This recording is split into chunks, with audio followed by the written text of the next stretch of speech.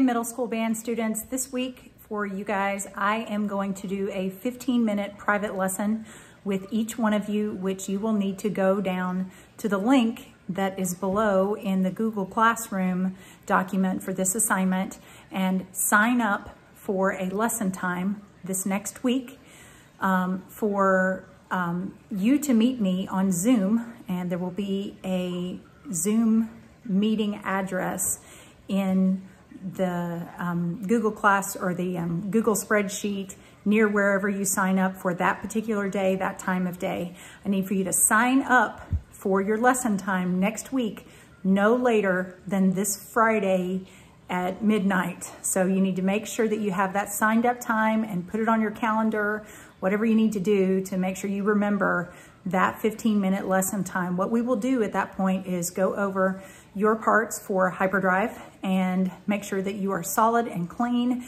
And I wanna hear a few scales. I wanna make sure that you're practicing and that you're doing what you need to so that we can put together a virtual concert for the end of the year. And um, it's gonna be pretty cool. Um, I will also have a YouTube video that I need for you to watch and give me a questionnaire. So you'll have two assignments next week.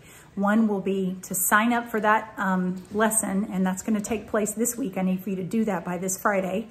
And then um, next week you'll have two assignments, the actual private lesson that we'll do on Zoom, and then the um, video with a questionnaire. If you're in jazz band, you've already had a video with a questionnaire, but I want you to um, look at, at um, some of those options um, that are already online where people have done virtual concerts so that you can see what we're gonna be putting together and how that's gonna work because you, my friend, will have to be practicing with a metronome so that you can keep exactly with the beat, which means getting some regular practice. I'd like for you to get at least three days of practice each week 15 minutes each time that you practice. So pull out that horn, pull out your sticks, make sure that you're doing some rudiments, going over your scales, practicing the piece that we're gonna be recording because it needs to be absolutely clean. It must be precise in order for us to put together a good virtual concert.